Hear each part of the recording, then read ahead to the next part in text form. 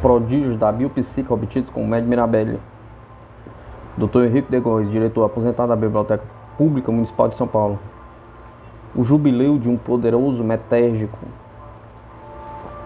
A locução, pro, a locução proferida pelo Dr. Henrique de Góes no Instituto Psíquico Brasileiro, a 29 de fevereiro de 1936, para comemorar o 25º aniversário da mediunidade de Mirabelli, na revista Vanitas de São Paulo, número 57, de março de 1936, a comemoração.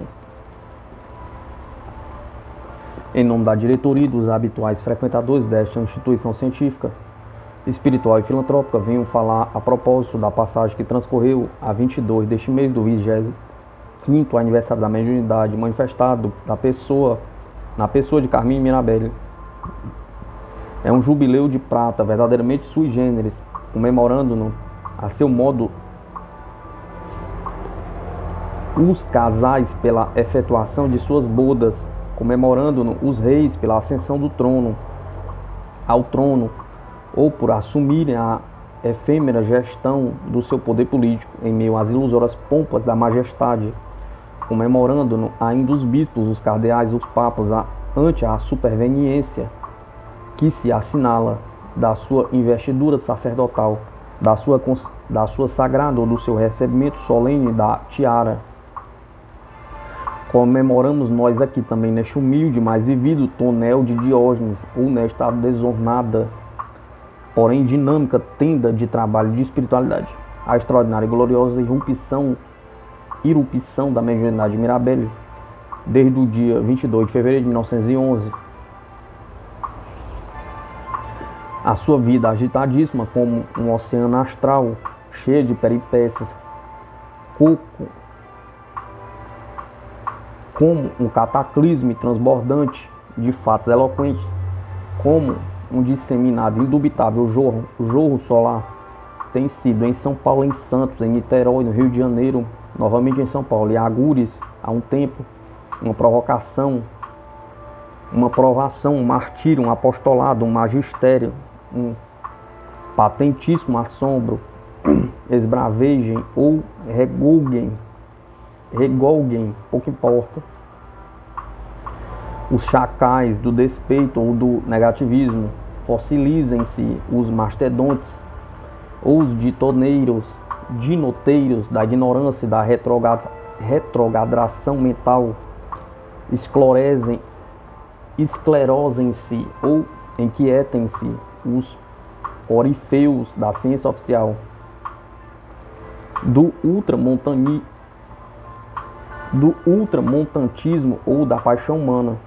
Mas a verdade é esta: dia com sinceridade plena, sem sugestões inadmissíveis, nem visitando de forma alguma quaisquer segundas intenções. Mirabelli é a maior singularidade do Brasil e o mais extraordinário milagre científico, filosófico e religioso vivo do planeta. Já vou dizer a prova por quê. Provações e martírios, A vida de Mirabel constitui uma série de provações e um visível martírio na esfera psíquica e na esfera moral. Quem, como eu, conhece, observa, estuda e priva com ele há quais, quase 20 anos, pode em consciência atestar esse negável fato. Provação com as pessoas da família, com os parentes, com os amigos, com os ingratos, os maledicentes gratuitos e os detratores despeitados. Provação com as criaturas às quais, fortuita, voluntária ou fatalmente, se uniu em mais uma curta ou em mais prolongada, prolongada intimidade. Provação que os entes que não compreenderam bem, não avaliando satisfatoriamente as suas faculdades, as suas contingências, os seus influxos, as suas mutações da alma, não possuindo a necessária e universal tolerância para os que possuem essa amarga missão do, do sacrifício e sofrimento, procuraram e procuram apenas egoisticamente realizar os seus desejos pessoais, os seus caprichos condenáveis as suas ambições ilimitadas, provação ainda, e parece incrível, com aqueles que não o conhecem exatamente, nem de perto nem de longe, não hesitam de maneira satânica ou inconscientemente em julgá-lo mal, como médio, como homem. No entanto, maltratado, roubado várias vezes e caluniado, jamais recorreu à ação da polícia ou dos tribunais para denunciar, atacar ou indemnizar-se indenizar-se, se não somente para se defender e viver em paz. abandonado os seus improvisados inimigos à própria sorte justiceira, embora tardia, pode-se afirmar sem exagero que ele sofre por toda a humanidade que dá suas qualidades excepcionais e se, socorre. Atendendo aos seus dotes de coração compadecido e sensitivo, refletou das angústias de outrem e de seu resoluto medianeiro, que se presta padecendo a consolar e a extinguir os males alheios, nota-se que dura isto há 25 anos, e compendia um romance real, uma peregrinação através de uma via cruz inenarrável. Apóstolo caritativo. A vida de Mirabella exprime um apostolado contínuo e manifesto, socorrendo e curando gratuitamente os doentes do corpo e do espírito, auxiliando pecuniariamente os que necessitam, conforme eu tantíssimas vezes tenho visto, suportando e amparando as misérias desta miséria, desta mísera humanidade invejosa, intrigante, intrigante, perversa, injusta e mais ou menos diabólica, em suma, doutrinando os que precisam de, de adequada reprimenda ou anseio por um consolo reparador ou salvador perdoando as injúrias, os maus conceitos e as ingratidões dos felinos, das raposas da sociedade, beneficiando a viúva, o órfão, o pobre ou desamparado, sendo leal para com os amigos e desrancoroso para com os adversários, tendo um modo de ser e proceder fundamentalmente cristão, como um anacoreta irradio ou um apostolado tumultuário, sem sotaína ou sem burel, praticando a caridade, promovendo a espiritualização e a concórdia da humanidade neste chamado Vale de Lágrimas ou neste globo sideral de reencarnações e de resgates, aqui denominamos Terra, o magistério mediúnico. A vida de Mirabel é um magistério sublime e infatigável. Apesar da triunfante Revolução de 1930, a verdade ao médio com o incêndio do prédio de apartamentos em que morava e onde havia um jornal, um prejuízo de centenas de contos em dinheiro, joias em tinturas caras.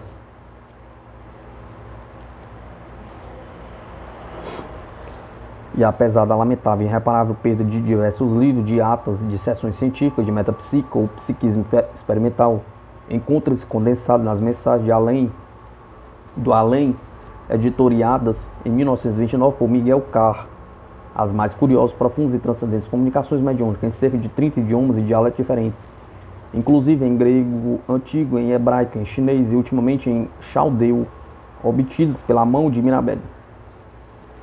Assinam essas mensagens rápidas produzidas na presença de controladores fidedignos, com as suas caligrafias e os seus e nos seus respectivos idiomas e sobre os assuntos mais elevados e mais multiformes do pensamento da cultura, entidades mundiais que tiveram por nome Sócrates, Descartes, Descartes Cristóvão Colombo, Copérnico, Augusto Comte, Dante, Newton, Crowell, Lamarck, Fertelon, Chateaubriand, Joana d'Arc, Diógenes, São Bernardo, Lombroso, Carvo, Vitor Hugo, Zola, Camões, Napoleão Bonaparte, São Francisco de Assis, Ricardo Wagner, Leonardo da Vinci, Saint-Simon e muito mais. Essa coletânea de transmissões psicografadas equivale a uma reunião de tese, de enciclopédia de alto valor científico, filosófico, artístico, literário, etc. E essas comunicações espontâneas admiráveis na essência na forma não cessam de ser veiculadas pela personalidade estranha e única de Mirabelle. Sempre que se oferece oportunidade favorável e não forçado para tal, é como se um gênio até hoje nunca visto se propusesse dizer poligloticamente em línguas vivas as línguas mortas em variadíssimas preleções livres na totalidade das cadeiras inimagináveis de uma universidade de estudos superiores e iluminadamente eruditos. Maravilha científica.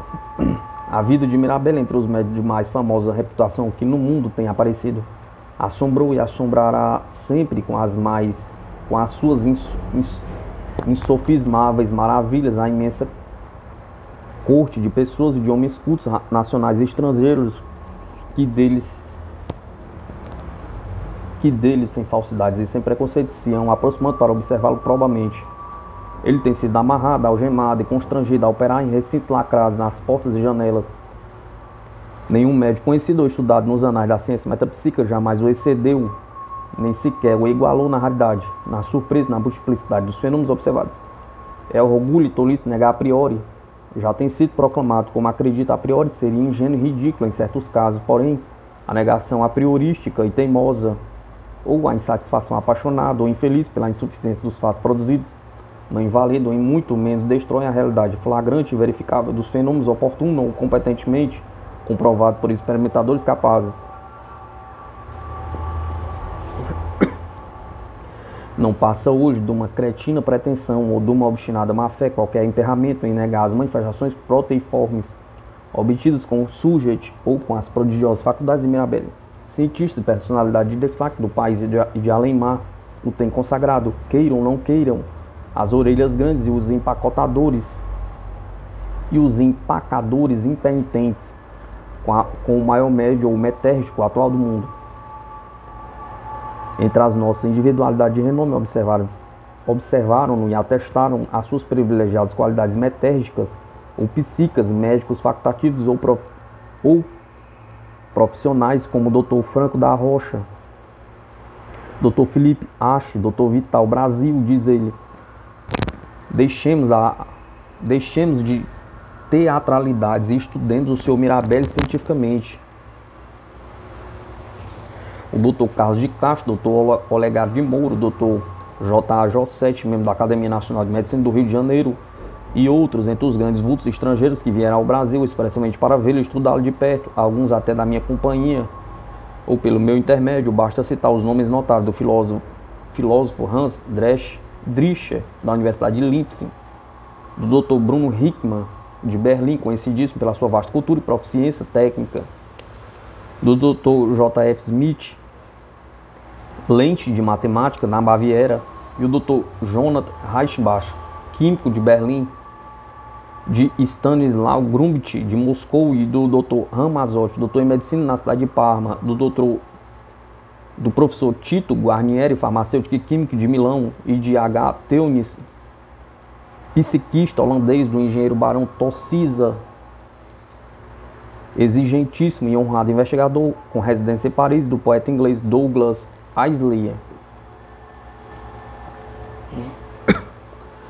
Adido à Embaixada Britânica de Paris de Miss C. Walker, periodista inglês e conceituosa, conscienciosa pesquisadora do metapsiquismo do escritor Theodoro Bestman, secretário da Sociedade de Investigações Psíquicas de Londres, da qual tem Mirabelle recebido instantes convites para ir a esse ambiente celebre a fim de se sujeitar às experiências, o que talvez realize oportuna e possivelmente comigo além de comissões especiais de pesquisas procedentes da Inglaterra, da Holanda, da França, da Alemanha, da Itália, da Argentina, dos Estados Unidos, etc.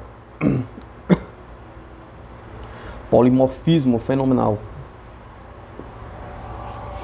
A formidável aluvião de fenômenos psíquicos observados por meio de Mirabel vão desde a leitura instantânea do pensamento e das inauditas revelações arcânicas e remotíssimas do passado de qualquer pessoa que dele se aproxime, relativa a presentes, ausentes e falecidos, até as comunicações ora, orais e escritas, não importa o que, em que idioma ou dialeto, vivo ou morto, desde o transporte à distância de objetos de uma casa e de uma cidade para outra, até a desmaterialização dos mesmos, do próprio médio em pessoa, segundo se constatou mais de uma vez, até a materialização de flores e de fantasmas que falam que se deixam tocar e examinar e que se apresentam com as suas individualidades e os seus traços característicos ou identificáveis, desde a moldagem de mãos de efígies de várias formas, de formas várias, em trigo e em parafina, até as irradiações luminosas, quais estrelas ou fogos fatos, e os sons de música e cantos transcendentais, emitidos por instrumentos ou vozes distintas, aéreas, esvoaçantes, invisíveis, desde as execuções pitagóricas, pictóricas em qualquer gênero, como aquarela, crayon, pena, óleo, etc., até os conceitos, até aos conceitos musicais executados por intitulados e astralmente conhecidos Ricardo Wagner, Ricardo Wagner, o Paganini, através do teclado do piano, das cordas do violino. Eu mesmo testemunho acordado, não sonhando, tudo isso que quase tudo tudo isso, ou quase tudo isso, inclusive a levitação prolongada, inconsciente do médico que fiz voltar a si. E a corporificação de três entidades terrenas que dialogaram comigo entre as vinte e tantas ou trinta tantas materializações fotografadas de fantasmas de ambos os sexos, de várias idades e raças, dos conceitos de valor. Para terminar esta alocação rememorativa e documental, que já se está tornando algo extensa, lerei aqui na tribuna, da tribuna, duas, duas significativas referências às espantosas e edificantíssimas faculdades metérgicas de Mirabel, enaltecidas por um médico e cirurgião de nomeada e por um ilustrado e digníssimo sacerdote do clero católico, ambas externadas por escrito no Rio de Janeiro, um médico e cirurgião e doutor Tadeu de Medeiros, diretor científico e fundador da Academia Brasileira de Metapsique no Rio de Janeiro, e o sacerdote, o culto e respeitável padre José Maria de Castro, professor do seminário e do ginásio de Belo Horizonte.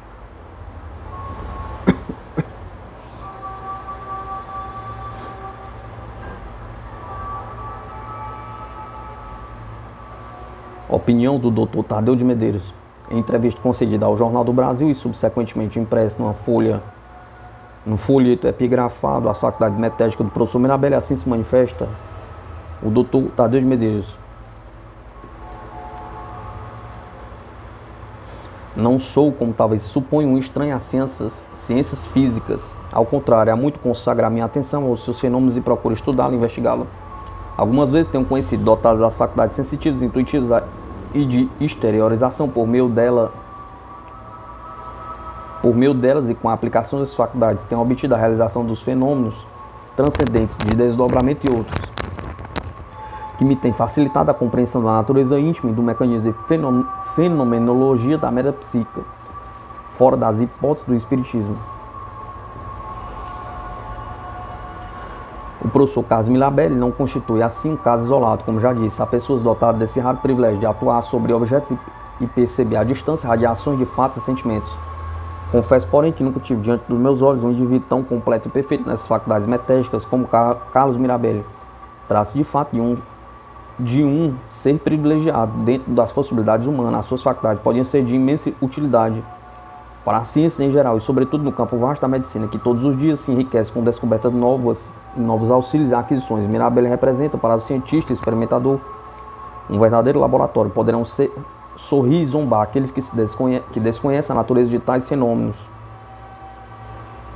sempre explicáveis, embora de aparência anormais, mas em, sem dúvida é a ignorância dos céticos nunca pode existir. Mas sem a dúvida, a ignorância dos céticos nunca pode existir a consagração. Cientistas mais notáveis de nacionalidade estrangeira têm verificado o poder maravilhoso de Mirabelli e têm dado a público testemunho do seu assombroso testemunho do seu assombro ante as radiações obtidas pelas suas faculdades eloquentes expressões do padre José Maria de Castro, num álbum de atestados e recordações possuído por Mirabelli e por mim compulsado, escreve pelo seu próprio punho o reverendíssimo padre José Maria de Castro as sugestivas e nobres páginas que seguem. O que, movendo apenas Ara a minha mão nestas linhas é ditado pelo coração, mas ao impulso da minha razão. Ouvi sempre as melhores referências acerca do professor Mirabelli quando eu era professor no seminário do, de, e no ginásio de Belo Horizonte. Era vigário em Vespasiano, localidade próxima àquela capital. O meu grande amigo, padre Antônio Cerbela, tio de Mirabelli, fatos tão extraordinários, me contou a ele, me contou ele a respeito deste egrégio professor que me despertou desde logo em mim o desejo de conhecê-lo. frustradas para mim muitas oportunidades vim conhecê-lo no Rio de Janeiro e digo em consciência, senti maravilhado ao primeiro contato com Mirabelli. Tantas coisas disse ele sobre o meu passado, reportando-se aos meus ascendentes e sobre o meu presente, que não pude deixar de me convencer de que me achava diante de um homem extraordinário, de um homem de Deus. Lembrei-me então dos santos da igreja, cujas vidas edificantes nos apresentam tantas revelações. Lembrei-me então dos sacerdotes da igreja, com, com inovidável Monsenhor Horta de Mariana, que recebia tantas comunicações do alto para o bem espiritual das almas e a mim mesmo perguntei por que as revelações de Mirabelli não poderão ser consideradas pela igreja a mestra da verdade, como emanadas do céu, como a igreja considera as daqueles?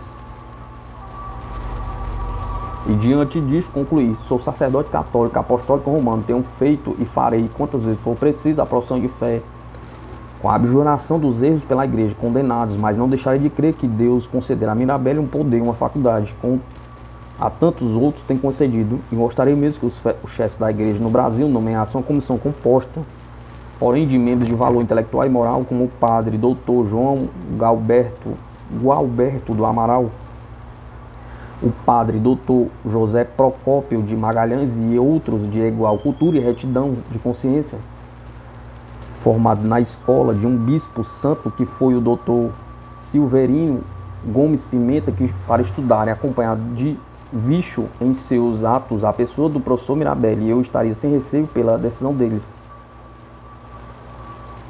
Não se trata de espiritismo, são fenômenos naturais, de pleno acordo com o que admite a teologia moral. Eu vi pessoas vindas da Europa com o fim exclusivo de verem e ouvirem o professor Mirabelli saírem maravilhadas. Acresce a circunstância de que Mirabelli é cristão, crê e confessa a divindade do nosso Senhor Jesus Cristo, tem em seu escritório lindo crucifixo, ao qual presta o culto relativo de, de látria. Aqui tem direito suplicar a Jesus e a ele dar graças quando consegue prestar um benefício ao próximo. Isso nos indica que Mirabel é um homem de fé e os chefes da igreja no Brasil não poderão condenar sem conhecê-lo e conhecendo, estou certo, onde admirá-lo. É possível, entretanto, que tal não se dê, que o condene aqui, sem mais nem menos, mesmo a delicadeza dos que vêm usando a santa fé no tocante às revelações, etc. De Teresa Neuma, Frei Pio, de Alcina e que um sacerdote, doutor romano, contou-me há pouco o seguinte. Estávamos em aula na Universidade Gregoriana em Roma, o padre Pedro Vidal, professor de Direito Canônico.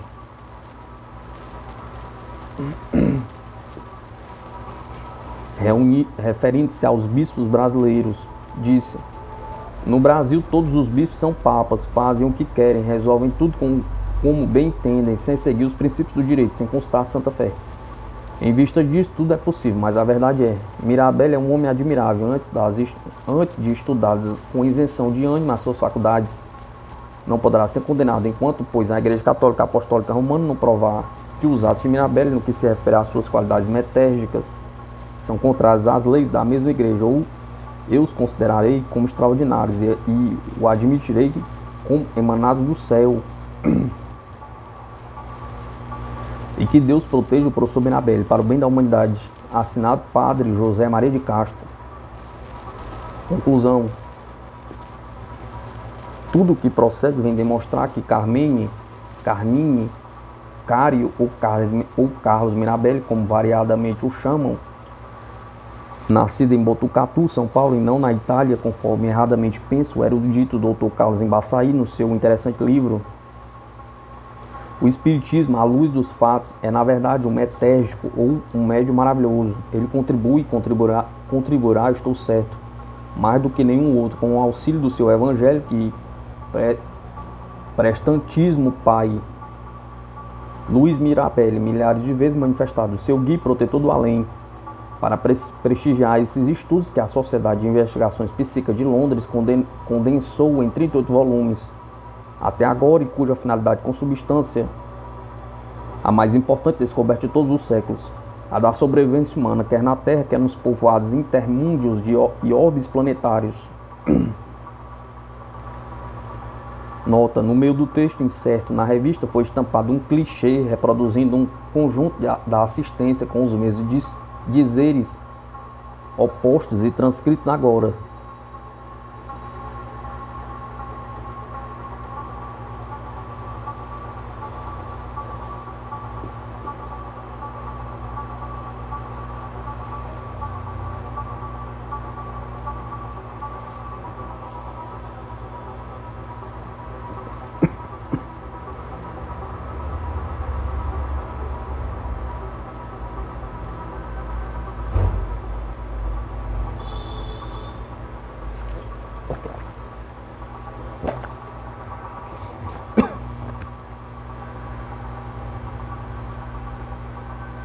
Sessões com o Médio Mirabelli, primeira série. Relato oferecido à Revista Internacional do Espiritismo de Matão, Estado de São Paulo, por Oscar de Oliveira Borges e nela estampado número de 15 de junho de 1936, desse mensário dirigido pelo Sr. Caibachuta. As sessões que vamos descrever efetuará a 28, 29 e 30 de abril e 1 de maio do corrente ano, em casa do Sr. José Procopio Ferraz, a rua São Vicente de Paulo, 645. E em sua fazenda Santa Sofia. Achava-se presente o médio Mirabelli, o doutor Eurico de Góes e os senhores Mário Machado Borges, Juvenal de Oliveira Dias, o José Procópio Ferraz, Haroldo Croix, Luiz Procópio Ferraz e diversas outras pessoas de destaque, inclusive senhoras, bem como o relator deste. A ata sim cataloga os fenômenos obtidos e as ocorrências. Iniciada a sessão, a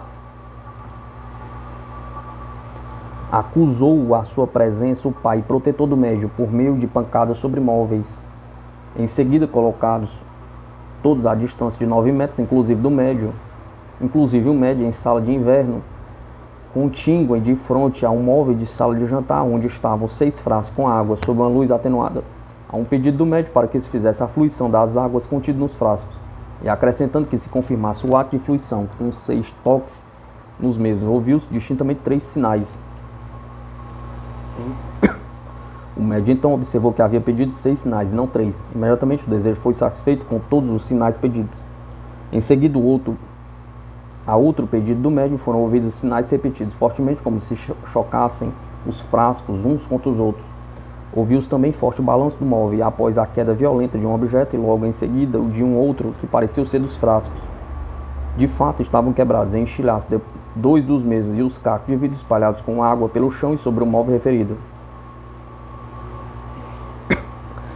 A presença de outros espíritos se fizeram sentir antes por leves toques espaços. Encerrados os trabalhos em São Paulo, convidei eu, José Procópio Ferraz, o médio e alguns amigos para, no dia seguinte, irem comigo à minha fazenda denominada Santa Sofia, em Gavião Peixoto, para continuarmos as observações e estudo dos fatos correlatados. O senhor Carmen Mirabelli acendeu novamente com a sua habitual gentileza, apesar de chamados urgentes e acumulados. Seguiu de automóvel com outras pessoas. Tendeu viajar com um amigo para o mesmo destino, pela estrada de ferro. Viagem esta sem incidente. Entretanto, a viagem do médio até o meio do Pecus foi sem incidente. Foi dali por diante acidentada, com bastante demorada. com bastante demora em virtude de certas influências e fenômenos que se deram em circunstâncias especiais e também pelo desarranjo do motor, impedindo a marcha do carro, impedindo a marcha do carro que foi substituído. Esse desarranjo ocasionado em estradas perfeitamente conservada e em carro novo, em perfeito estádio, estado, outra explicação razoável não existiria além do que nos deu o ilustre médio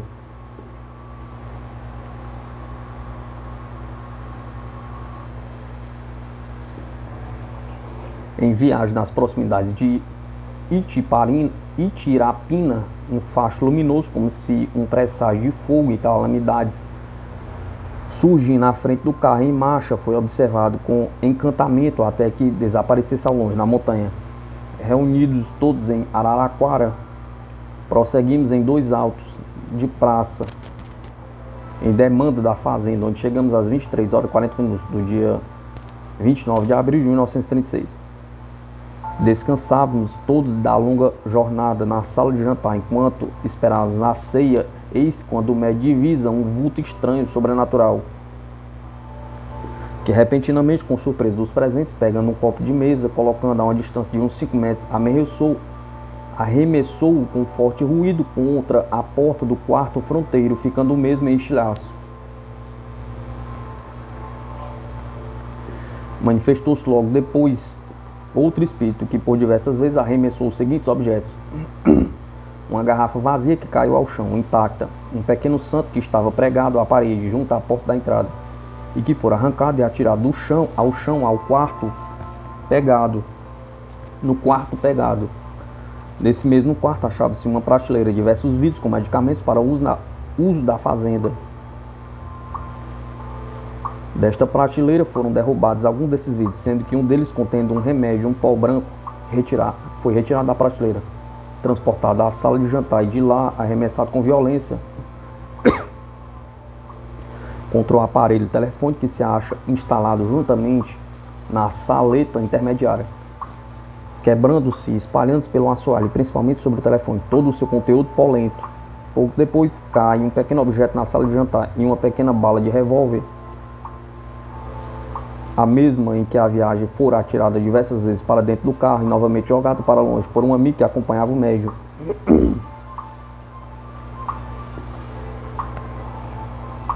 atirada de novo do alpendre da casa para fora pela mesma pessoa por duas vezes. A mesma bala voltou até que, atirada por uma terceira pessoa, desapareceu. Novas manifestações com arremessos de objetos, principalmente uma pedra pequena em formato oval bicolor, tendo metade branca, metade preta, que caiu na sala de jantar. Segundo, uma dentadura que caiu no quarto fronteiro e, e que for atirada por um de um móvel fechado.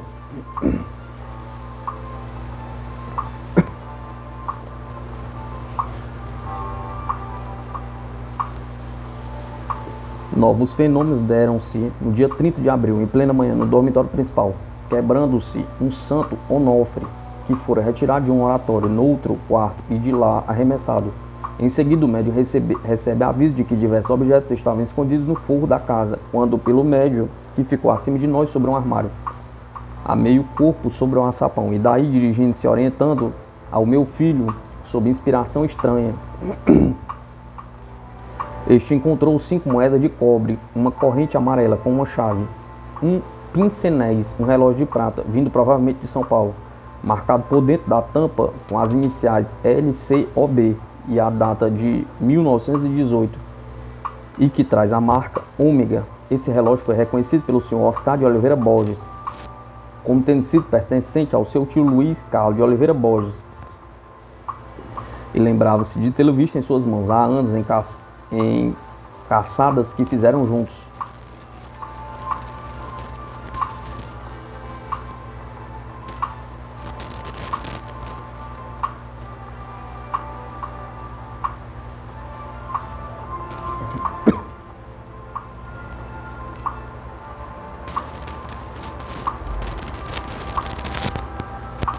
Depois, pleno dia, no terraço da casa, o médico tomado pelo espírito de Bosque pega de uma moeda de 20 réis de cobre, que traz consigo há muitos anos, faz diversos passos, desaparece a moeda, em seguida voltando a cinto êxtase momentâneo, indica que a moeda está sendo introduzida em uma laranja, ainda sem verde, que pende de uma laranjeira no pomar, a uma distância de cerca de 12 metros do ponto em que estávamos com o médio.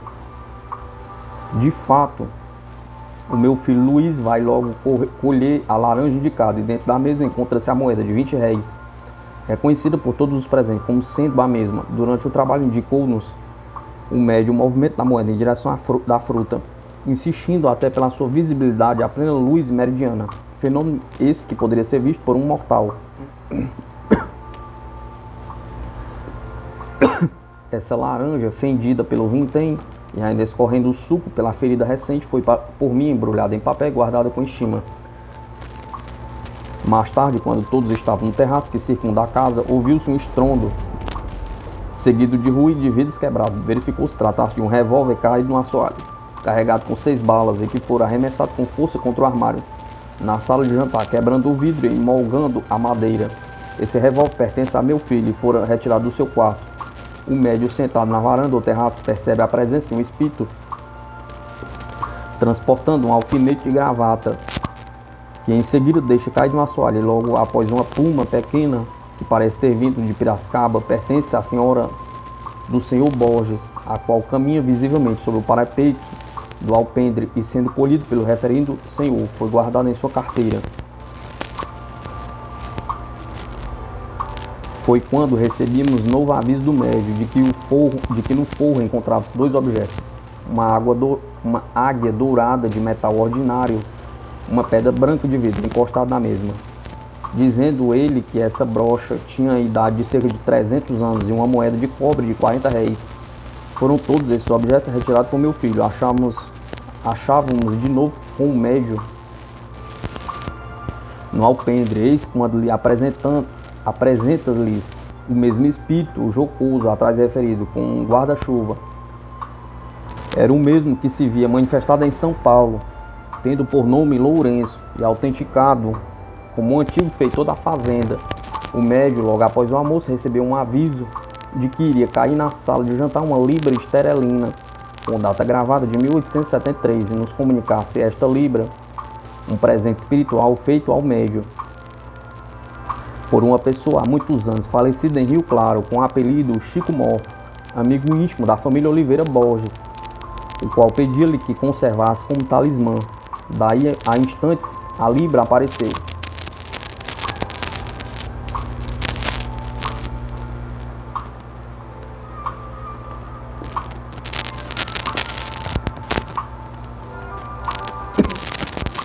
Também caiu na sala uma aliança de ouro, servindo somente o dedo, servindo somente a dedo delicado.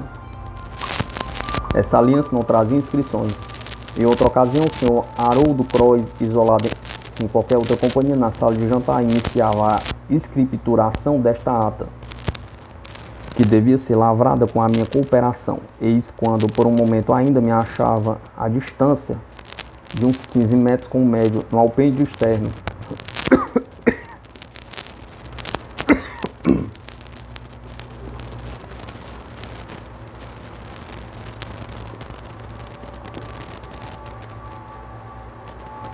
Ouviu-se um estrondoso ruído na, na referida sala e ato contínuo senhor Croix aparecia assustado, devido, devido sob a impressão do fenômeno, no que foi secundado pela apreensão não menor do médico, que rever, reverberou a imprudência de tal isolamento num ambiente intensamente infestado por espíritos sofredores, atrasados e agressivos. Verificou-se que o estrondo fora produzido pela queda violenta de um revólver Colt de calibre grande, de cor preta, sobre a mesa. Esse revólver que me pertence, na sua queda, molgou fortemente a mesa da sala de jantar, derrubou o tinteiro e che chegou a tocar na mão do senhor Cross, não, que, mão que empunhava a pena, atirando esta para longe e espargindo tinta sobre a mesa. Felizmente a arma se achava descarregada, pois fora medida que adotei antecedentemente, do contrário, um tiro poderia ser fatal em vista da direção em que veio na sua queda e no toque do gatilho com forte impressão na tábua.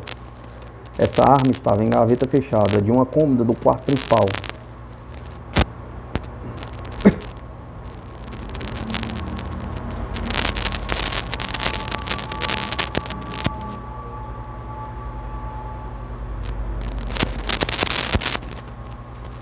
À noite, o médio fazendo a corrente mental e pedindo aos presentes uma boa vibração, constatou pouco depois a presença do guia astral, seu e, seu e o nosso grande protetor no momento, o qual deu prova de sua presença por meio de sinais sobre três garrafas, contendo água que se achava na mesma sala de jantar. Verificou-se por intermédio do médio e também por alguns dos presentes da mais evidência, de mais evidência, a presença de de outros numerosos espíritos atribulados. A certa hora, o médico, com auxílio de seu protetor, chamou minha atenção para um fenômeno interessantíssimo que se processava na cozinha, para onde haviam sido conduzidos por este numerosos espíritos escravos sobre o fogão. Um clarão forte se irradiava até próximo de nós, vivo, brilhante, como se fosse produzido por uma química especializada divina, tomando toda a cozinha com dos adjacentes por um tempo algo demorado, chegando mesmo a queimarem-se os últimos papéis de uma prateleira, mas unicamente este, com espanto da própria cozinheira que na ocasião não se achava ali, e sim na sala de jantar, além do ponto em que estávamos. Deram-se outros fenômenos, como sejam várias balas de fuzil Mauser vieram ter a sala de jantar, três garrafas que se achavam sobre a mesa, duas foram atiradas ao chão. Um crucifixo crucifixo pequeno de folha foi transportado do quarto dos fundos da casa para um quarto na frente. Um vidro de remédio contendo tintura de beladona foi transportado do quarto da frente para o dormitório principal. Uma garrafa e um prato foram arremessados com violência da, da cozinha para o longo corredor que liga a mesa com a sala de jantar e finalmente um crucifixo grande que se achava no oratório foi transportado depois arremessado com violência contra os presentes, tocando-me fortemente no alto da cabeça, fazendo-se em pedaços. Pouco antes de 11 horas da manhã do dia 1 de maio, o médico Mirabelli já se dispunha a retirar-se, assim como outras pessoas da comitiva, quando um outro fenômeno interessantíssimo, como para despedida, veio tocar sensivelmente a alma de quem, juntamente ao Sr. Croix, colaborara na redação desta. A um aviso do médico, a atenção de todos os presentes foi voltada para o assoalho de alpendre, do alpendre, a alguns passos de distância, onde aparecia um objeto verde de forma oval, era uma maçã nova de algodoeiro, ali trazido pelo Espírito Amigo aconselhador de João Batista Oliveira Borges, o mesmo que no dia antecedente havia trazido a pluma de Piracicaba, pai do nosso companheiro e amigo Oscar Borges, que me distinguia com aquele presente significativo para avisar-me de que nessa espécie de cultura Encontrarei a solução para o, para o desejado equilíbrio pecuniário. Guardei com carinho o grato e respeitoso e grato respeito o precioso presente. Durante três dias consecutivos, em um em minha casa em São Paulo e dois na fazenda referida, todos observaram os fatos que assim foram descritos, com pureza de verdade e profundo espírito de observação sendo que nenhum dos presentes se achava sugestionado, alucinados, nem sob qualquer influência estranha. Ao contrário, todos estavam perfeitamente conscientes, acompanhavam atentos, vigilantes e criteri criteriosamente todos os fenômenos realizados. O médium, com a sua caridade e desprendimento habituais, nada pediu. Ao contrário, apesar da minha relutância, fez valiosa dádiva ao sair a cozinheira para quem pedi, Pediu-me licença, nada recebeu. Enfim, pelo seu grande trabalho espiritual e físico. E por ser verdade, vai a presente assinada por mim e pelas demais pessoas presentes.